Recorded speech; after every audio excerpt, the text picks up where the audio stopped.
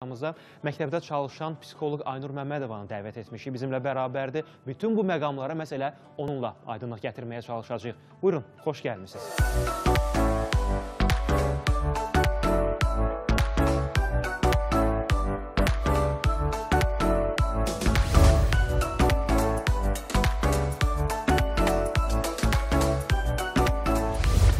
Xoş gəlmisiniz Aynura xanım. Sizi dəvət etməzdən öncə elə o məqama toxundum. İstəyirəm elə birbaşa bu məqama da aydınlıq gətirək. Etiraf edək ki, tez-tez deyirlər ki, gənclərimiz məktəbdən başladı siqaret çəkməyə. Yəni məktəbdə nə baş verir? Çox vaxtda deyirlər, yuxarı sinif şagirdləri siqaret çəkməyə başlayırlar.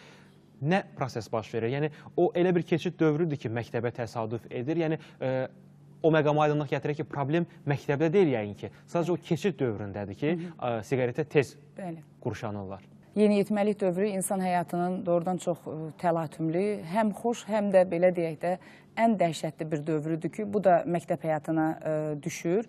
Və yeniyetməlik dövründə ə, bilirik ki, uşaqlar təlqin dövrüdür. Bu təlqin dövründə uşaqlar öz kumirlərini, oxşamaq istədiyi insanları ə, təlqin edirlər, yamsılayırlar, onların hərəkətlərini eləmək istəyirlər və bugünkü gündə də ə, ulduzlar ə, onların kumirləridir və ulduzların da reklamlarında biz görürük ki, onlar hər hansı bir ə, biz bugün etik norma saymadı, saydığımız siqaretlə bağlı şəkilləri yayımlanır və uşaqlar ilkin oradan götürürlər ki, bəli, mən bu dövrdə, mən əgər özümü ə, ona bənzədirəmsə, mən də mütləq onun kimi geyinməliyəm, onun kimi hərəkətlər eləməliyəm. Ancaq bu tək ə, bu yamsılama amili şərt deyil.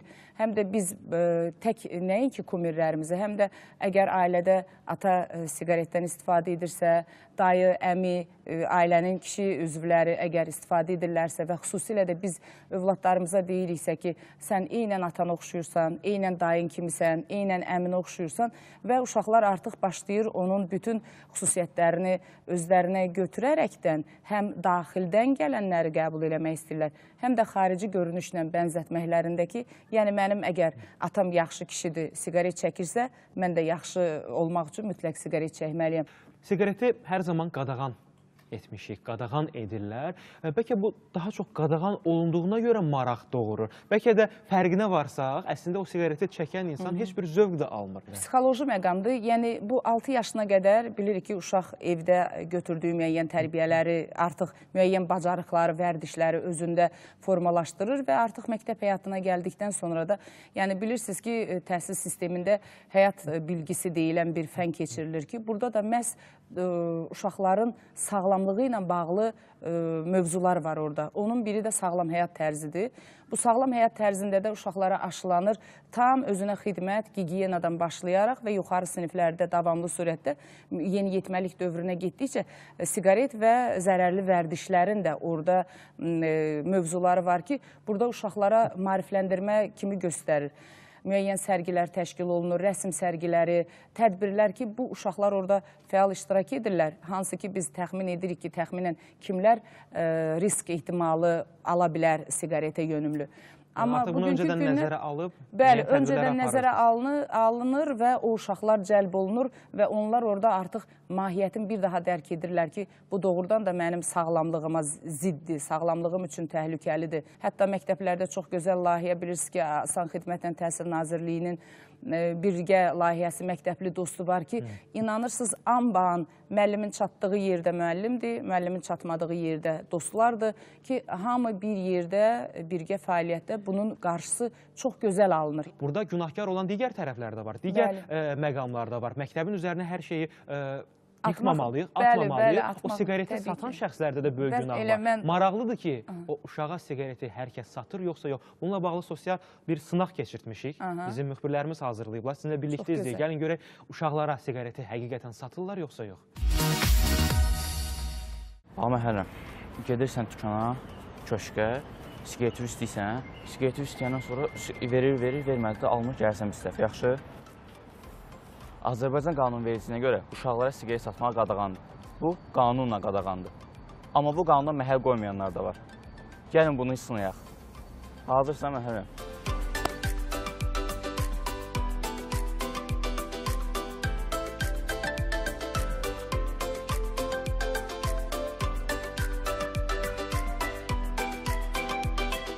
Salam əleykum.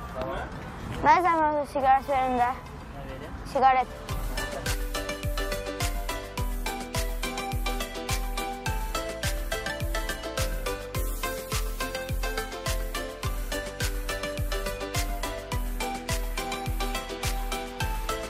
Salam əleykum. Mən zəhmətə siqaret verin də. Ya. Siqaret verin də zəhmət olmasa. Atam üçün Allah. Vermir. Ya. Hə, hərəm, nə oldu? Aa, burada da vermədilər. Aha, niyə pis olursan? Lap yaxşı, vermədilər. Deməli, hələ də qanunlara riayət edənlər var. Apardığımız sınağa görə gördük ki, insanlar həqiqətən də qanunlara riayət edirlər.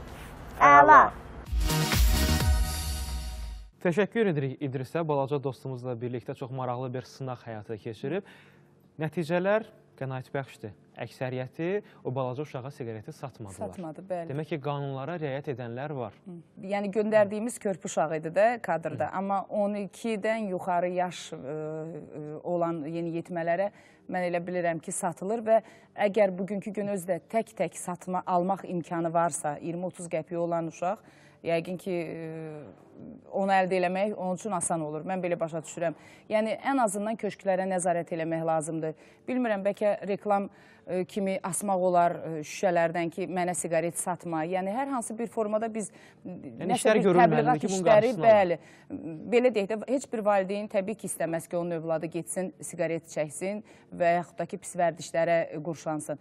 Amma bunun sosial tərəfləri ilə bağlı, yəni cəmiyyətdə satılanmağı ilə bağlı ailə daxili münasibətlərdən də uşaqlar e, belə deyək, əgər valideynlər arasında hər hansı bir narahatçılıq varsa, hər hansı bir e, anlaşılmazlıq yaşayırsa, uşaq artıq özü üçün müəyyən ətraf axtarmağa başlayır. Əgər uşağın kədərlində, uşağın sevincli günlərində valideyn yanında deyilsə, bu artıq kənarda başlay e, başlayır özü üçün rahat mühit axtarmağa və bu rahat mühit də kim olur? Özündən 2-3 yaş böyük, artıq siqaret istifadəçisi, artıq müəyyən e, zərərli vərdişlərin istifadəçisi və uşağın böyüdüyünü bir daha vurğulayaraq, hədə sən böyük oğlansan, sən kişisən, e, sən bu siqareti çək, nə fikrin var?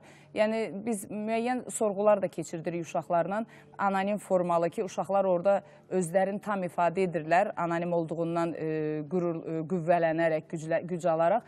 Və orada əksəriyyəti qeyd eləyir ki, mən e, özümü böyük göstərmək istəyirdim. Mən istəyirdim ki, məni kişi kimi hesab eləsinlər, məndən, payla, məndən razılaşsınlar və buna görə mən siqaret çəkdim. Uşaqlar var ki, yazır ki, ailəmdə problem var idi, mənim, e, yəni belə deyək də, dırnaq arası dərdim var idi, problemim var idi, mən siqaretə qurşandım. Özünə qapanmalar da bəli bu an bu yaş dövründən başlayır ki, uşaq artıq bilmir dəstəyi hardan alsın. Hazırda gənclər arasında daha çox dəb halına nə çevrilib? Elektron siqaret, Bəli. qəlyan. Yəni və elə fikir formalaşır ki, sanki onların, Onların zərərləri azdır. yoxdur. Halbuki o daha artıq zərərləri var. Elə bəli. onlarla bağlı da sujetimiz var. Elektron yeniyetmələr arasında artıq dəb halına çevrilib, onların əllərində elektron siqaret görünür. Bəli, bəli. Burada da yəqin ki, müəyyən biznes xarakteri daşıyır, e, daşıyır, oradan irəli gəlir ki, bunların e, elektron siqaretin satışı.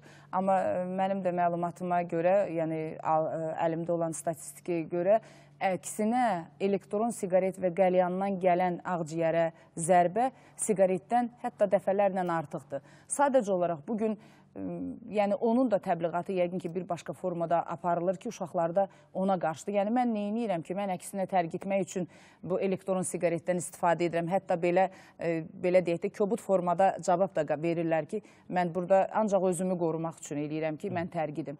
Amma çox təəssüf ki, bu da belə deyil. Yəni asılılıq yaranır istənilən halda.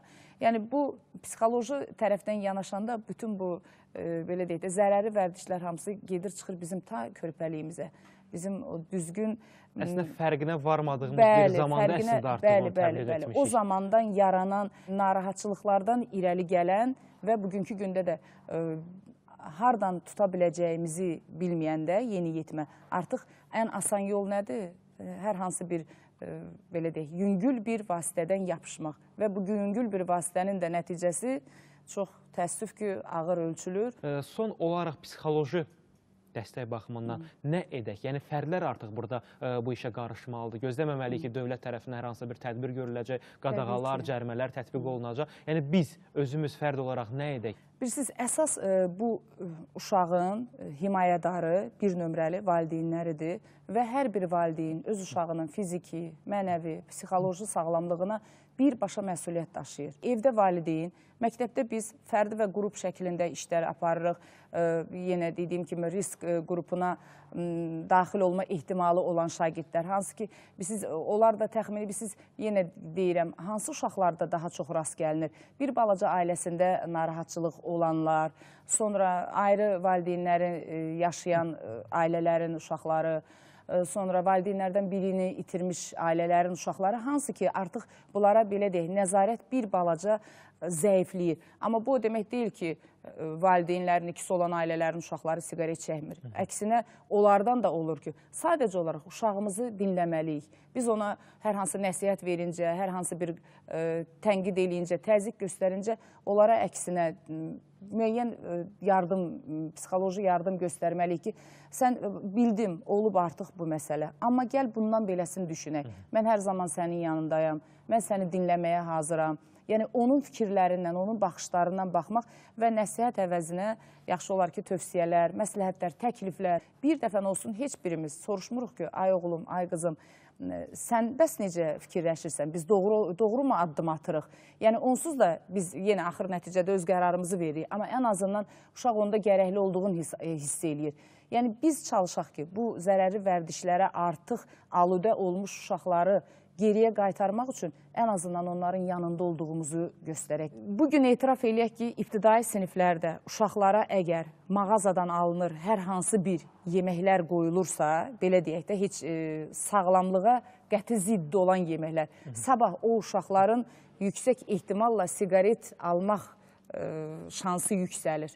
Ki, yəni artıq evdən, e, yəni ən asanına qaçırıq biz. Bax, Yəni onlar hamısı sağlamlığı bəli, yalnız siqaretdə Bəli, görməyək. tək Yəni siqaretdə yox, bəli, hər tərəfli əgər biz edək. uşağa doğrudan sağlam olmağını aşılayırıqsa, o e, qidasından başlayaraq, özünə xidmət gigiyenasından başlayaraq gətirib ora çıxartmalıyıq ki, uşaq artıq sağlam düşüncə ilə yanaşsın ki, bəli, mən bu siqareti çəkərəmsə, mənə nə baş verər? Mənim orqanizmamda hansı inkişafləngiyər, necə olaram və o fəsadları uşaq dərk eləyəndən sonra mən elə bilirəm ki, istənilən halda əgər lap istifadə eləyirsə, orada onu artıq zaman zamana buraxmaqla özünü geriyə çəkə bilər. Təşəkkür edirəm Aynur xanım. Çox, Çox sağ olun ki, bizimlə bərabər oldunuz. Öz mesajlarınızı, öz tövsiyələrinizi bizə bildirdiniz. Təşəkkür edirik. Ümidvarıq ki, bizi izləyən gənclər də bu söhbətlərdən nə isə götürüb ən azından düşündülər. Dostlar, daha bir buraxılışımızın sonuna gəlib çatdıq. Bugün siqaretə yox dedik. Hər zaman deyirik, bugün də onu demək istəyirəm ki, dostlar, təbii ki, bir buraxılışla heç kim siqaretdən imtina etməyəcək. Ən azından sizi düşünməyə vadar edə biliriksə, nə xoş bizə sizə dəstək olmağa çalışırıq. Nəinki sizin, hətta sizin ətrafınızda olan şəxslərin də sağlamlığının qeydinə qalmağa çalışırıq. Bəzən elə olur ki, kiməsə yaxınlaşıb deyirsən ki, niyə siqaret çəkirsən? Pis qoxu gəlir, sağlamlığına zərərlidir deyir. Sənə nə? Öz işimdir, özüm bilərəm. Mənim həyatımdır, şəxsi həyatımdır. Qarışma. Həmin şəxslərdən rica edirik ki, dostlar, bu qədər aqressiv olmayın. Həmin insanlar sizin və ətrafdakı şəxslərin sağlamlığının qeydinə qalmağa çalışırlar. Bugün isə bu qədər dostlar. Hər zaman sağlam olasınız. Hələlik. 나